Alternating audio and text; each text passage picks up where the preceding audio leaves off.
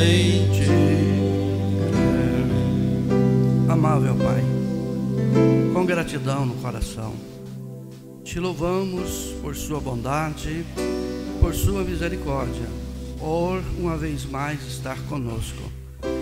As famílias aqui, Senhor, presente, as famílias aqui representadas, aos que nos acompanham através desta transmissão.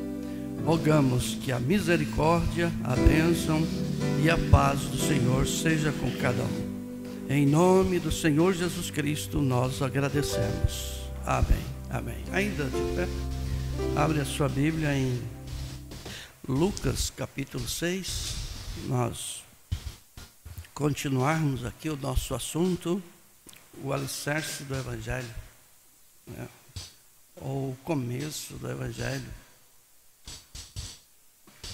a base do Evangelho, o ABC da vida cristã.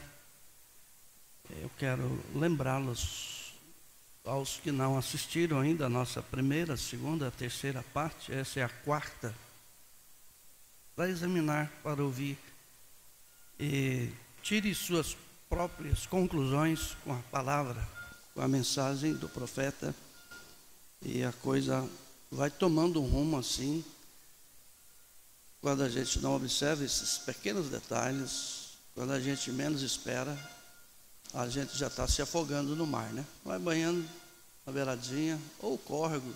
Ontem, Monte Tiago estava contando a experiência que ele foi pular um, na, na represa, acostumado, curtinho, vou pular. Mas ele percebeu uma presença de demônios antes. Aí ele pulou e quase que ele foi. A gente percebe essa presença do perigo, mas a gente vai acostumando, vai acostumando, quando a gente menos espera, a gente se afoga. E quando criança, eu aprendi um provérbio que dizia assim: que a água, o rio, o mar, a água, não, ela não está interessada em quem não tem medo ela quer quem tem medo, porque os que não têm medo já é dela. A gente acaba não entendendo, né? Eu vim de uma região turística, e praias do Rio Araguaia, então sempre os de fora afogavam. Vinha a primeira vez, afogava. A gente ficava ali, atravessava o rio de um lado para o outro nadando e estava acostumados, né? Mas de vez em quando ia também. E assim é o pecado. Vai devagarzinho, devagarzinho. Olha que você vê, você está lá. A hora que você está lá, e aí? E aí? Né? Mas os avisos vêm antes. E é isso aqui que eu estou trazendo a, a memória de todos vocês, a nossa memória, que temos que olhar para o nosso padrão, que é a palavra. Aqui no versículo de sempre 46, né, até o 49, Jesus diz aqui em Lucas 6. Desculpa a garganta de manhã. Por que me chamais Senhor, Senhor, e não fazeis o que vos digo? Qualquer que venha a mim e ouve as minhas palavras e as observa, eu vos mostrarei a quem é semelhante é semelhante ao homem que edificou uma casa e cavou e abriu fundo, bem fundo, e pôs os alicerces sobre a rocha. E vindo a enchente, bateu com ímpeto a corrente naquela casa, e não a pôde abalar, porque estava fundada sobre a rocha. Agora, quem não edificou? Verso 49. Mas o que não ouve e pratica é semelhante ao homem que edificou uma casa sobre a terra. É ensinado quando você vai ser batizado que é a justificação, que é a santificação, o que é o batismo com o Espírito Santo. Como que se sai dessas fases? Sobre vestimenta, sobre calçado, sobre tudo, tudo, tudo é ensinado antes de ser batizado, antes de ser batizado. E aí, na hora que é batizado, batizado ainda se pergunta: está você disposto a deixar tudo pelo amor do Evangelho? Sim, estou disposto, estou disposta. Aí é batizado. Aí, de repente, começa a voltar tudo de novo, né? é uma casa sem alicerce, na qual bateu com impeto e corrente, e logo caiu, e foi grande a ruína daquela casa. Senhor, que a Sua palavra seja acrescentada aos nossos corações, em nome do Senhor Jesus Cristo. Amém. Pode sentar.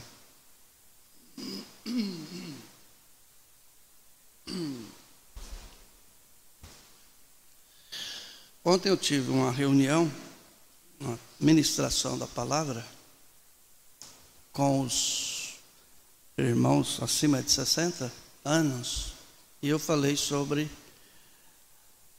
Deus tem um padrão para julgar. E esse padrão que Deus tem estabelecido para julgar é a palavra dele. Ele avisou para nós, como foi nos dias de Sodoma e Gomorra, como foi nos dias de Noé, assim seria hoje. E o mesmo padrão que Deus usou para trazer juízo sobre Sodoma e Gomorra e sobre os dias de Noé, é o mesmo que ele vai fazer agora. Na história do ser humano que está chegando ao seu fim. Quando a Bíblia diz em Tessalonicenses 5 que quando disseres a paz e segurança, virá a repentina destruição, eu não imaginava que esse tratado de paz ia ser tão rápido quando começasse como está sendo. Embora já se fala nisso há muito tempo. Israel, junto com os Estados Unidos, já conseguiram juntos alguns, algumas regiões árabes. Já conseguiram. Árabes Unidos, eu não dou conta de falar o nome dos dois locais, mas em dois é, regiões diferentes da, dos árabes já fizeram um tratado de paz e está em negociação. E tem que se dizer, ah, paz e segurança. Vai, vai dizer isso, que Paulo disse, quando disseres. Ele não disse que quando tiver paz e segurança. Ele disse, quando disseres a paz e segurança. Então Deus tem estabelecido esse padrão de sua palavra. E é a palavra que é o alicerce da vida cristã. Porque se não é, irmão, a palavra, nós somos um sistema denominacional qualquer. Nós podemos viver qualquer classe de vida se a Bíblia e a mensagem não for o nosso padrão. Toda arma ela tem duas miras. Ela tem uma na, na, na ponta, eu não sei como é que dá o nome ali, me lembro mais, as horas que eu saí do exército, né? E a gente não, não exercita, mas ela tem aqui em cima e na ponta do fal. Tem duas miras, a espingarda também tem, né? Como que é o nome? Não deu para ouvir os ventiladores, não ajuda, né? Mas, alce de mira? Então, tem aqui e tem lá. E para nós é isso. Essa mira aqui, ela tem que ser muito importante, que é a Bíblia. É da, é da, a mensagem saiu daqui da Bíblia. Não foi a Bíblia que saiu da mensagem. Nós cremos em William Branham como profeta porque a Bíblia disse que Deus enviaria um profeta.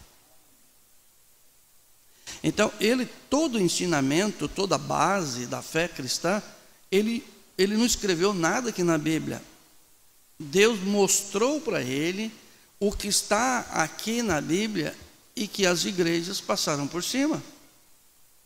Então Deus falou: olha, está na hora de você ir. E ele enviou. E nós temos esse privilégio agora, então, de estar estabelecida a nossa fé na Bíblia. Agora, para que nós entendemos bem tudo isso, abra sua Bíblia em Jeremias, no capítulo 32, para nós continuarmos esse assunto aqui sobre o alicerce do Evangelho. Eu já disse para vocês o que é um alicerce e vocês já sabem. Mas vamos então aqui para Jeremias. Jeremias. Jeremias capítulo 32, versículo 30 e 36. E aí nós vamos pegar algumas mensagens e algumas escrituras, simplesmente trazer a vocês que está aqui na Bíblia que está aqui dentro das mensagens. Jeremias 30 ou 32, versículo 30 até o versículo 36. Ah, encontraram? Jeremias, capítulo 32, versículo 30. É que a gente anota e acaba saindo. Verso 30. Porque os filhos de Israel e os filhos de Judá não fizeram senão mal aos olhos, aos meus olhos, desde a sua mocidade. Porque os filhos de Israel nada fizeram senão provocar minha ira com as obras das suas mãos, diz o Senhor. E continuam ainda provocando o Senhor. Lá eles faziam deuses, hoje eles fazem vestes com as mãos. Vestimentas, calçados. E muitas outras coisas para esportes e lazeres, bebidas diversas. O ser humano continua fazendo as coisas más aos olhos do Senhor. No 31. Porque para minha ira e para meu furor, me tem sido esta cidade, desde o dia em que a edificaram, fizeram alicerce, e até o dia de hoje, para que a tirastes de minha presença, por causa de toda a maldade dos filhos de Israel e dos filhos de Judá, que fizeram para me provocarem a ira. É o que o ser humano faz. Eles e seus reis, os seus príncipes, os seus sacerdotes, quer dizer, os seus governadores, os seus representantes políticos. Aí ele parte agora para a igreja. Os sacerdotes, seus profetas, como também os homens de Judá e os moradores de Jerusalém, viraram as costas, viraram-me as costas, e não o rosto ainda que eu os ensinava. Somos ensinados por Deus. Madrugando e ensinando-os, contudo, eles não deram ouvidos para receber o ensino. Somos ensinados que é a justificação, somos ensinados que é a santificação, Somos ensinados que é o batismo com o Espírito Santo, somos ensinados como ser cristãos e cristãos, porque Deus enviou um profeta. 34. Antes puseram as suas abominações na casa que chama pelo meu nome para profanarem, e edificaram os altos a Baal, que estão no vale do filho de Imon, para fazerem passar seus filhos e suas filhas pelo fogo. E Moloque, a quem nunca lhes ordenei, nem veio ao meu coração que fizessem tal abominação para fazerem pecar Judá. E aqui em Rondônia eu nunca vi isso muito, mas na região de Goiás, Minas e Bahia se passa muito na fogueira. Eles passam descalços em cima daquele negócio lá. Aí uma vez me perguntaram: Você quer passar aqui em cima? Você quer que eu me queime? 36. Por isso, agora assim diz o Senhor, o Deus de Israel, acerca desta cidade, da qual vós dizeis, já está dada na mão do rei Babilônia, para a espada, pela fome e pela pestilência. Vocês sabem que Babilônia volta a governar, né? Caiu, caiu a grande Babilônia. Somos ensinados sobre isso aqui.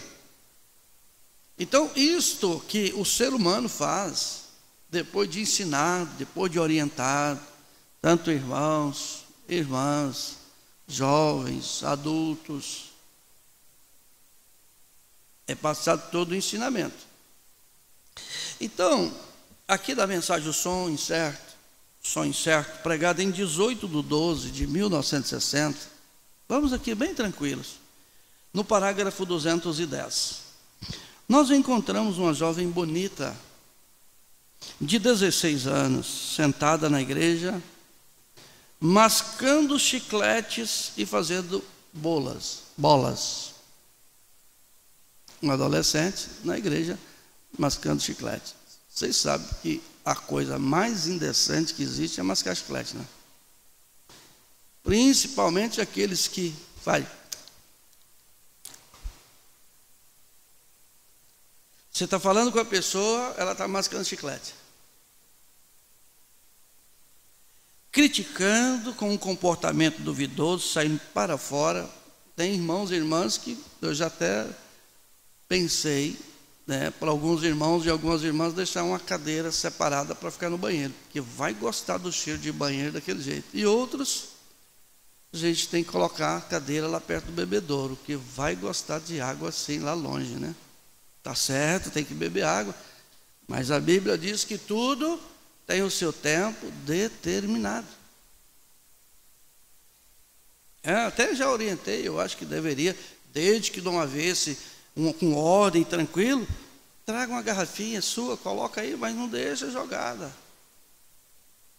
Leva de volta. E, puxando as suas roupas para um lugarzinho, diz, ó, tá, e fazendo bolas, criticando com comportamento duvidoso, saindo para fora, puxando suas roupas para um lugarzinho que pareça mais sexy. Eu já vi alguns adolescentes quando vai para a escola, elas não sabem, mas a gente, por acaso passa ali, elas puxam cós para cima assim e põem acima do joelho para sentar lá. É porque vocês não têm noção do que, que os garotos são capazes de fazer com espelhos e com celulares e tudo que eles fazem. Eu não conheço mente dessa molecada, viu, meninas? Mas algumas já fazem isso é para mostrar mesmo. E as velhas quando fazem isso também? Mas é ensinado para não fazer. É o alicerce da vida cristã. Né? E puxando suas roupas para um lugarzinho que parece mais sexy, para se torcer por aí. E em poucos pôr do sol ela estará velha, enrugada, sua carne se um outro livro, que é o da vida e os mortos foram julgados pelas coisas que estavam escritas nos livros, segundo o que fizeram, que é obras. E deu o mar os mortos que havia ali, que morreu afogado, Titanic e outros. E a morte devolve os que levou, e o inferno foram queimados e os mortos que nele habitam foram julgados, cada um segundo as suas, segundo o que fizeram. E a morte e o inferno foram lançados no lago de fogo, esta é a segunda morte. E aquele que não foi achado escrito no livro da vida foi lançado no lago de fogo. Então, irmão, irmã, todos, todos, todos, todo mundo vai comparecer diante. A noiva estará com ele e os que serão julgados estarão ali debaixo do trono. A noiva estará com ele no trono, e os debaixo do trono para serem julgados, segundo o que fizeram. Todos, todos, todos, grandes e pequenos, ricos e pobres, cristãos ou não, creram na mensagem ou não, todos estarão ali naquele dia. Creram na mensagem e não viveram ela, estará ali. Então ele continua no versículo 289, irmã irmão, dizendo assim: não faça. Não faça, irmã, por favor, no nome de Jesus. Não vistam assim.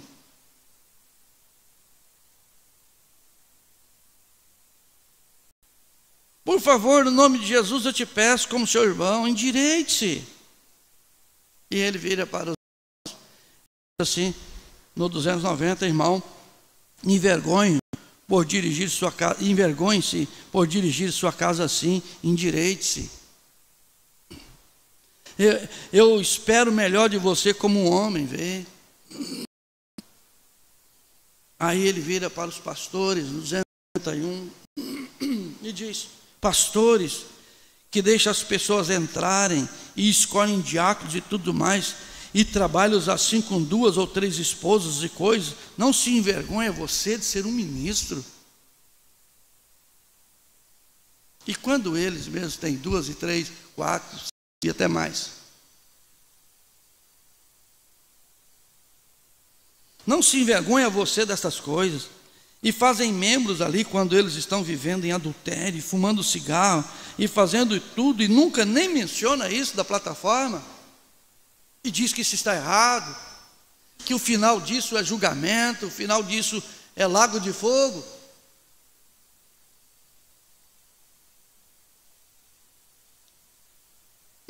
Não se envergonhe você dessas coisas.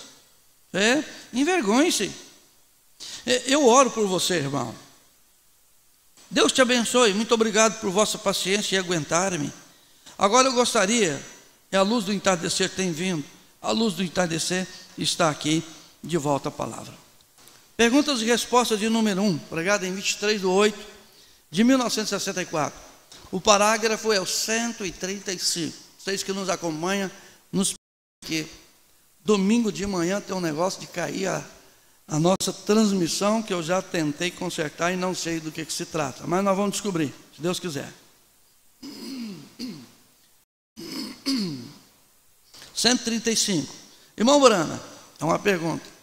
Irmão Brana, que pensa você acerca de nossas irmãs na igreja vestindo tão curtos?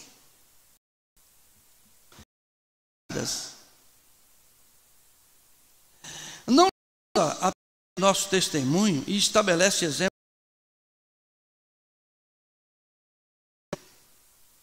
As mais velhas né? Tem mãe que ela gostaria de usar, mas não tem coragem, coloca nas filhas.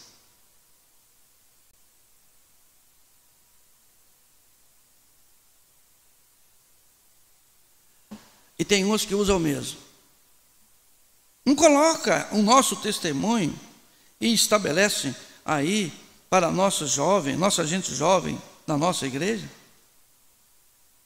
Ver uma mulher crescida vestindo um vestido tão curto que mostra seus joelhos quando caminha. E no 135 o profeta responde, né, dizendo: Seja quem for, irmã ou irmão, estou de acordo contigo 100%. É uma desgraça é uma desgraça. Que a gente ainda tem irmãs que mostram os seus joelhos. É uma desgraça. Porém, diga-me o que fazer acerca disso. Ó, em 1964, desde quando o profeta estava pregando, pregando, pregando, pregando, e olha, lê casamento de divórcio. Esse casamento de divórcio ele pregou em 55, né? Lê a semente da serpente. Veja como que o profeta mostra, leia tudo que ele mostrou, a situação. Leia em 1963, quando ele disse sobre a decadência moral da mulher, que ela voltaria a ficar pior do que Eva quando usava uma folha de figo. Olha aí, nós vivendo isso aí.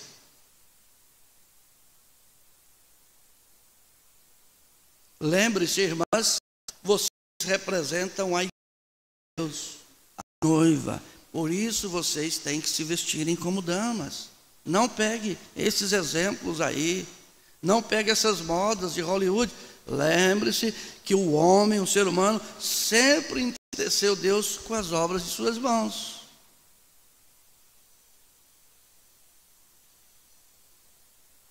Seja você quem for, estou de acordo. Porém, diga-me o que eu posso fazer acerca disso, porque eu prego tão forte, não sei o pregar, mas elas fazem igual.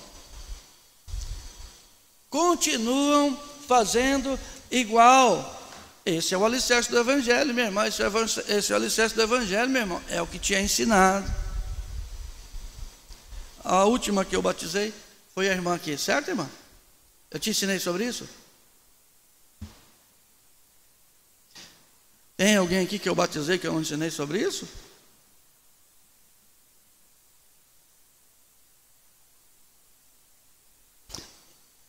E todos os pastores ensinam isso. Porque isso está estabelecido dentro da mensagem. Fazer igual.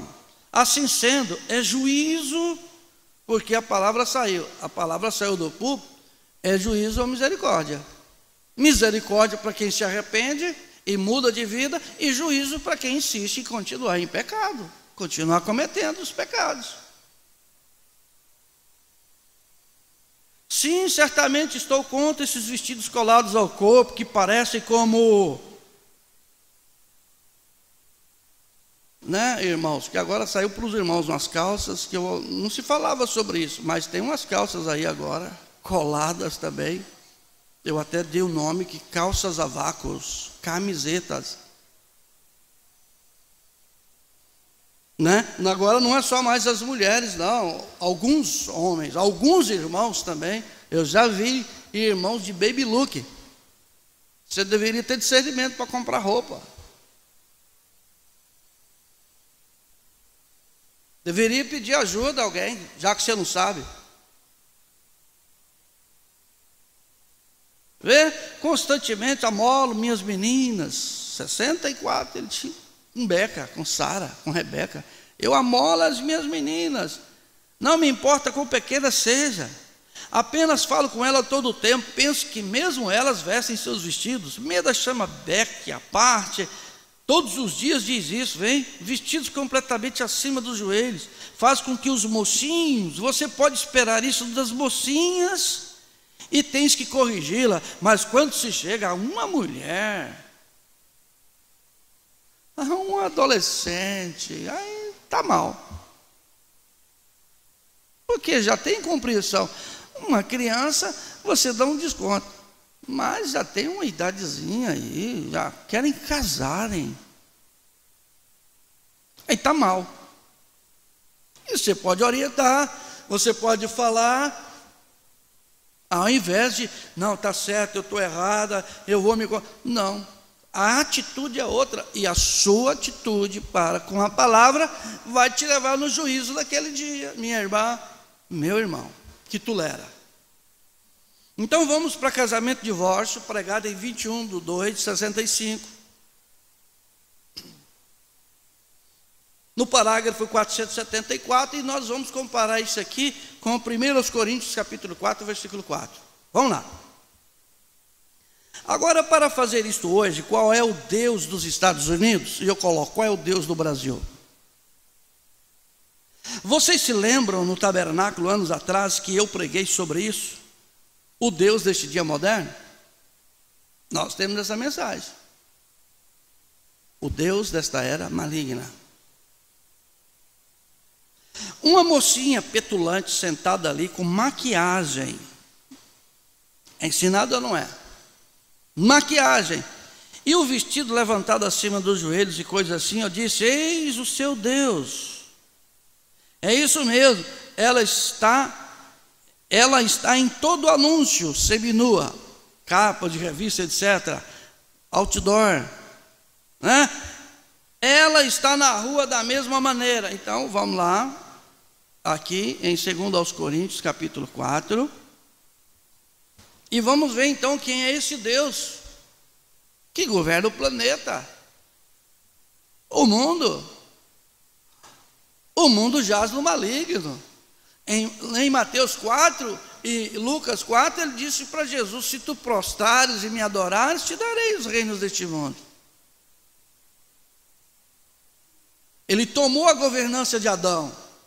O caos que vivemos é resultado da transgressão do Éden. Irmão, isso tudo que as pessoas acham tão belo, e tão gostoso, e tão maravilhoso, e não sei o que, isso é o resultado da transgressão do Éden. Isso aí, não, isso aí é uma desgraça. Quer viver? Viva a palavra, seja um cristão de verdade, seja uma cristã. Ser um cristão, ser uma cristã de verdade é prazeroso. Então, aqui no versículo 4, de 2 aos Coríntios 4, a Bíblia diz assim: Nos quais o Deus, de minúsculo, deste século chegou ao entendimento dos incrédulos, para que lhes não resplandeça a luz do Evangelho. Não, não tem como seguir o alicerce do Evangelho. Da glória de Cristo, que é a imagem de Deus. Bom, então agora nós vamos para a mensagem do Éden satânico. No parágrafo 111, pregada em 29 de 8 de 65. Você viu?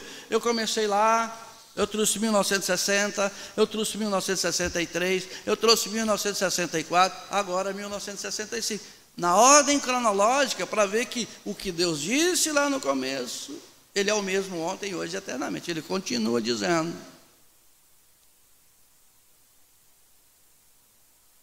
Agora, para fazer isto hoje, ou melhor, o Éden satânico, 111. Notem, Satanás usou foi a Eva para fazer com que Adão pecasse por meio de seu poder e desejo. Não é a mesma coisa hoje? Não é algumas mulheres que se mostram para fazer os Adãos caírem em pecado? Nós temos que olhar para o que aconteceu para o que está acontecendo, para a gente saber que hora que estamos vivendo. Veja, agora, o mesmo fazendo a mesma coisa hoje, note, cabelo cortado, rosto pintado, vestes sexuais. É ou não é isso? Que até algumas irmãs fazem. Não são todas, mas que tem algumas que são batizadas, que foi ensinado o alicerce do Evangelho. Vê se elas não fazem. Quem é que consegue fazer essa naturezinha mudar? Só Deus convence do pecado? Eu ficar velho por isso? Não, vou condenar isso com o mais forte que eu puder. Irmãs que ainda mostram seus joelhos e que cortam seus cabelos e que usam pinturas e que usam maquiagem. Se tu não se arrepender dos seus pecados, tu irás ser lançada no lago de fogo.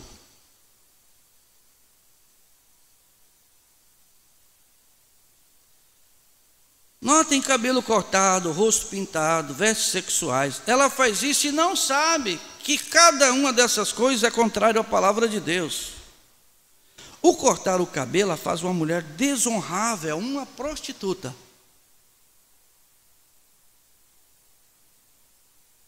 A gente fala, a gente ensina, mas algumas mamães, não, não tem nada a ver, não tem, não tem nada a ver. Elas vão crescer, hein? Você que é a professora. A professora dela é a mamãe. Se a mamãe não ensinar o certo, elas vão fazer, porque a televisão está solta, a internet está solta, porque a televisão agora já ficou até antiquada,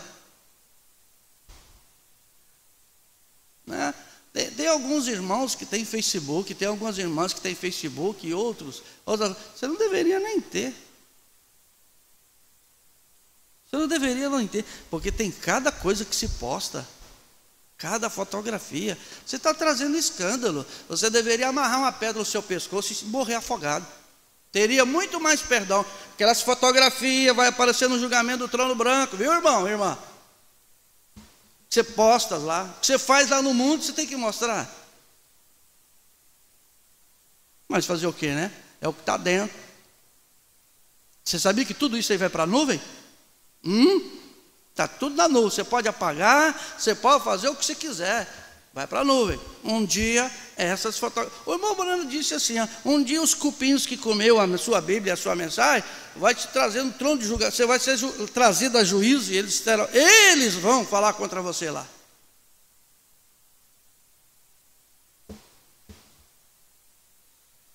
Aí ele vem e diz assim: o vestir shorts a põe em desgraça por vestidos sensuais, ele faz uma prostituta e ela não sabe. Não por causa da santidade de Deus, mas pela concupiscência de Satanás. Ela faz com que seu Adão peque, caia. Ela incita para que seu Adão a deseje. Tirou as roupas com as quais Deus a vestiu lá no Éden, para sua viagem através do deserto. Ela as tirou se despiu toda, quando Deus a tinha toda em volta em peles. Então ela começando a desnudar-se um pouco de cada vez, agora ela está de novo onde estava no princípio, agora tem a seu Adão, e agora tem o seu Adão vestindo as roupas interiores das mulheres. Tem algumas orbas, né? Só muda para as orbas. E eu falei, nossa, então é isso. Então é as orbas. E tem alguns pastores que até pega pesado. Mas foi muito mais fundo. Aí já é o cúmulo do cúmulo. Você quer ver o que, que o Bobrano fala? É, quais eram as roupas interiores das mulheres? Vamos continuar aqui, parágrafo 113. Um homem pondo shorts que parecem efeminados e saem fora. Eu não creio que haja muito de homem nele. Hã? Hã? Ele é o maior efeminado que eu saiba. Aí, irmão. Você não vai fazer isso, né? Se está fazendo, muda de vida. Muda de vida. Ele é o maior efeminado que eu saiba, vem. Ela tem conseguido fazer com que seu Adão pervertido proceda como ela, vem, vestindo a sua roupa interior dela. Ela viu mais além do que podia fazer quando tirou toda a roupa, porém os interiores, sabe quais eram os interiores? O Mambrano disse: esses calções e esses shorts. Por certo, isso é a roupa interior de uma mulher. Porque a anágua, então, se falar em anágua, uma irmã perguntou, irmão Brano, o que, que o senhor acha de usar uma, uma, uma roupa, esqueci o nome que ela dá assim. Ele falou, irmão, eu não sei o que, que é isso, não, o que, que é isso? Falou, não, é uma roupa, a saia, que quando a mulher anda, mostra as anáguas. Ele mostrava as anáguas, que agora mostra a perna mesmo, né? O rachado. Ele disse, eu não sei o que, que uma mulher quer mostrar do seu corpo para um homem. Aí o mamãe está dizendo que esses shorts certos é a roupa interior da mulher. E o que dizer das certas orbas? Não vão entrar. Vamos deixar que o profeta mesmo diga, correto? Amém? Amém? Vocês creem? Vocês creem? Esse é o alicerce do Evangelho, irmãos. Temos que lembrar, temos que nos recordar, porque agora nós temos que estar com a nossa vida muito mais no altar, muito mais certo de Deus do que lá no começo. Agora nós estamos no ápice, estamos chegando no momento do arrebatamento. E na mensagem ainda ele continua aqui. Ah, deixa eu ver. Deixa eu ver qual foi o parágrafo que eu li, até onde eu li. Ah, tá. Eu não lembro mais qual foi o parágrafo que eu li, perdão. 111 até o 113. Agora, a partir do 116, a mesma mensagem. O Éden satânico. Outro dia, em Hollywood, John, não, não o que está aqui, Hudson John, é uma, uma famosa linha de hotéis que tem nos Estados Unidos. Mas na saída apenas permanecia sentado em assombro. Aqui se aproximava um mocinho, sua boca aberta, e ele tinha cabelo escuro aqui e penteou seu cabelo para este lado desta forma, e pôs um rolo nele e ondulou ao redor da parte de cima de seus olhos, olhando por baixo de volta, tipo, né? Não tem? As crianças, alguns garotos, algumas irmãs fazem isso também. Elas penteiam o cabelo e traz aqui e tampa o olho assim. Aí fica aquele negócio, não sabe se enxerga, não sei porquê, né? Deve ser que tem vontade de ser pirata, né? assistiu Capitão Gancho. Aí tem alguns irmãos, alguns rapazinhos assim, eles põem aquele em cima do.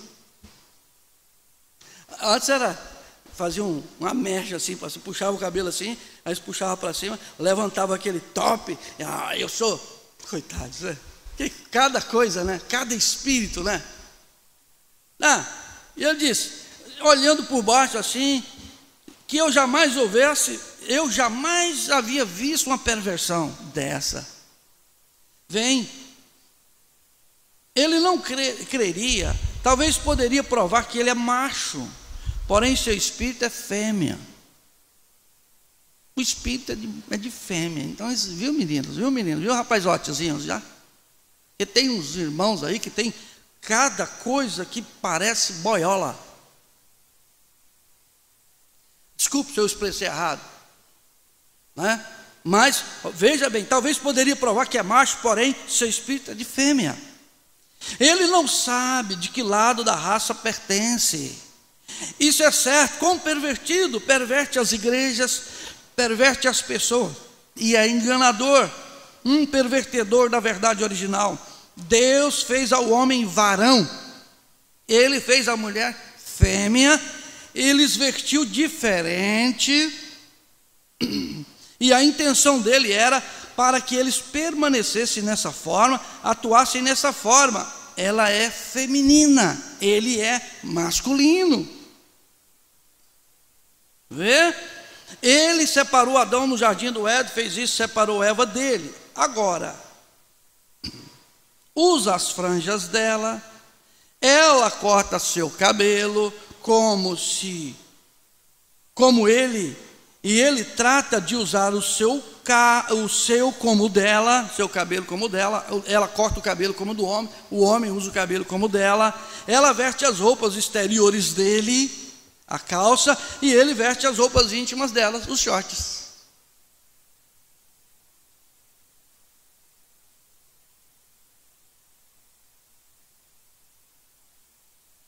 Vê? Agora isso soa como sacrilégio, porém eu não quero dizer dessa forma. É absolutamente a verdade do Evangelho. Se vocês não sabem, então tem algo mal com você. Você ou está cego ou nunca tem estado nas ruas. E ela pensa, ele pensa que está correto. Eles estão indo juntos a um lugar. E no 124 ainda, a partir do 124, na mesma mensagem ele disse: Homens, vocês não podem me diferir com isso, porém, isso é a verdade. Vocês têm sido pervertidos e não sabem. Então, irmãos, irmãs, quando for comprar vestimenta, cuidado para você não comprar roupas pervertidas, porque se você comprar uma vestimenta pervertida, tu ficarás pervertido também. Vê, você vê já não atuam mais como homens, tornando-se tão delicados. Logo será dada, vê? Homens e também mulheres. Eles são uma sociedade, são uma organização, porque João o vizinho usou shorts, portanto, porque eu não posso? Leula deseja que, o, que os use, porque João usou em casa, e bem, Suzy Jane os pôde usar, Marta também pode usá-lo, ou Suzy, vê? Ou seja lá qual seja o nome, vem. É uma sociedade, é uma organização. Espiritualmente vocês pertencem a isto e não sabem. Normalmente é assim. Quantas vezes você vai orientar um moço, você vai orientar uma moça, ou você vai falar com o irmão, com a irmã, joga na sua cara, mas a irmã tal, e dá o nome, está fazendo assim, assim, assim. Fulano está fazendo assim, assim, assim, assim.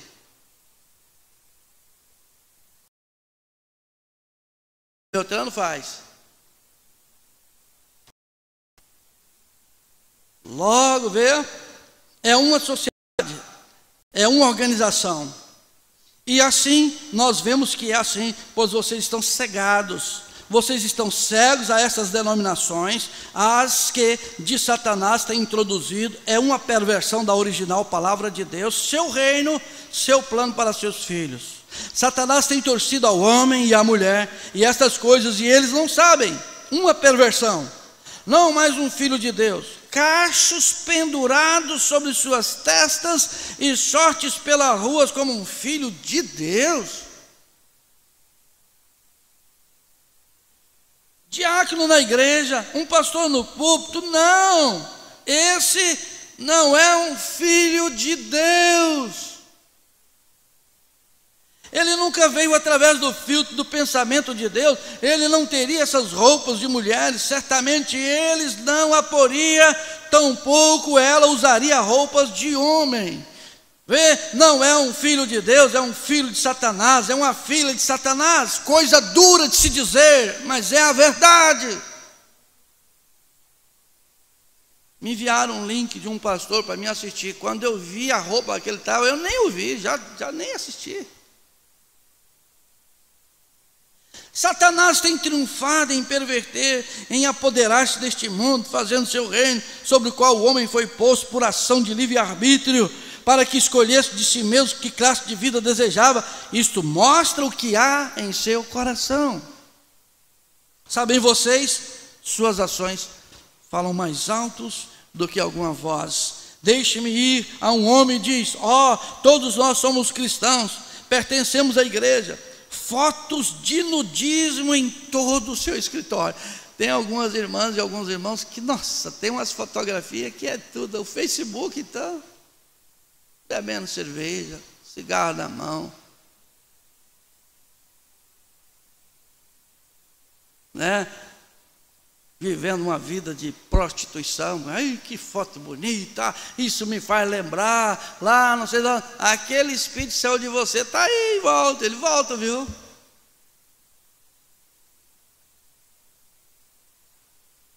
O que ele dissesse, eu saberia melhor. Assim você também o saberia que uma mulher diga que ela é uma cristã com o seu cabelo cortado você sabe melhor do que isso, vem, sim senhor, que ela é uma cristã. Você sabe melhor que isso. A palavra de Deus te ensina melhor que isso, irmã, melhor que isso, irmão. Esse é o alicerce do Evangelho. É a base, é a sustentação, é o ABC. Veja, a palavra diz, a palavra diz que ela não pode fazê-lo e ser uma cristã. E mesmo é desonrável e tudo. Como Deus vai pôr uma coisa desonrável em seu reino? Como? Não, senhor, de modo algum, não, senhor. Não, senhor, não, senhora. Então, agora, fechando essa nossa quarta parte sobre isso aqui, que ainda tem muita coisa aqui. Eu tenho que trazer ela embora, eu tenho que trazer memorizado, isso aqui tem que ficar gravado. Não é? Ele diz aqui na mensagem o sinal aplicando o sinal. No parágrafo 368 e 369, pregado em 1 de 9 de 63. Ele diz assim: Quem crê aqui que o sinal é o Espírito Santo? Amém? Ele diz assim: Quem crê, crê, crê, crê em quê? Creia no Senhor Jesus Cristo pela sua casa e aplique o sinal em sua casa. Então, o que você faz quando aplica em sua casa? O que a gente faz quando a gente aplica o sinal na casa da gente? Ele diz assim: então jogue fora todo o lixo, tá? Pegue todas as saias curtas e os shorts e o baralho e o cigarro e as televisões e tudo mais, dê-lhe um pontapé porta fora. Quando você for aplicar o sinal, não tolere tais coisas, sim senhor. Tire tudo isso para fora todas as danças e festas e rock and roll e jornais vulgares e as coisas que são do mundo, deles um pontapé porta fora e diga: "Vamos limpar aqui".